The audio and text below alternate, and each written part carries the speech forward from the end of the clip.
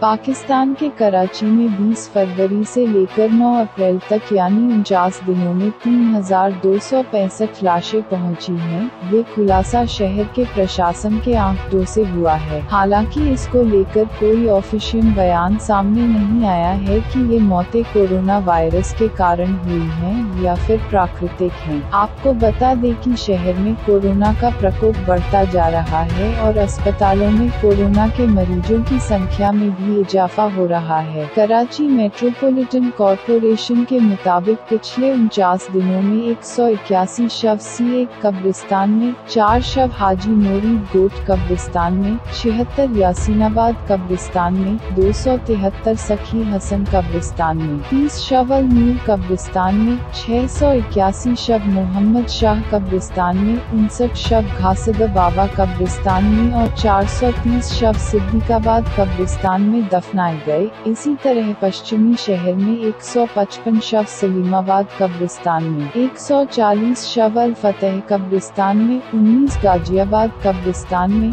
चौवन शव जन्नातुल बाकी कब्रिस्तान में, इकतीस शव गुलशन जिया कब्रिस्तान में, पाँच शव याकूबाबाद कब्रिस्तान में, चौवालीस शव गुलशन बहार कब्रिस्तान में, इक्यानवे शव इब्राहिम अली भाई कब्रिस्तान में, पच्चीस शव तोहारनी गोट में और उन्यासी शव शव मच्छ गोट में दफनाए गए, पूर्वी शहर में 128 शव मंगोट कब्रिस्तान में और 14 शव पीसीएचएस कब्रिस्तान में दफनाए गए। मालर कब्रिस्तान में तिरानवे शव, सऊदाबाद कब्रिस्तान में 160 मॉडल कॉलोनी में पाँच शव, कॉलोनी गेट कब्रिस्तान में 15 शव, हैदर शाह कब्रिस्तान में दो, मासूम शाह कब्रिस्तान में उनचास शव मालूमादाद राबी गोट कब्रिस्तान में और बासठ इस्माइल गोट कब्रिस्तान में दफनाए गए कोरांगी में 190 शव चिकगोट कब्रिस्तान में 15 कोरांगी कब्रिस्तान में और एक सौ बावन अजीमपुरा कब्रिस्तान में दफनाए गए। आपको बता दें कि कराची सरकारी अस्पतालों से मिली जानकारी के मुताबिक दस हज़ार सात सौ इक्यानवे पेशेंट 2020 के पहले तीन महीनों में इमरजेंसी में लाए गए थे। हालाँकि ये साफ़ नहीं है कि इनमें से कितने केस कोरोना वायरस के थे। पाकिस्तान में कोरोना की जाँच की संख्या बहुत कम है, जिसके कारण साफ़ तौर पर ये माना जा रहा है कि इनमें से काफ़ी केस कोरोना वायरस के हो सकते हैं। हाल ही में सिंध इलाके से भी जिस तरह की खबरें सामने आ रही हैं, उनसे भी साफ़ है कि पाकिस्तान से सही आंकड़े सामने नहीं आ पा रहे हैं।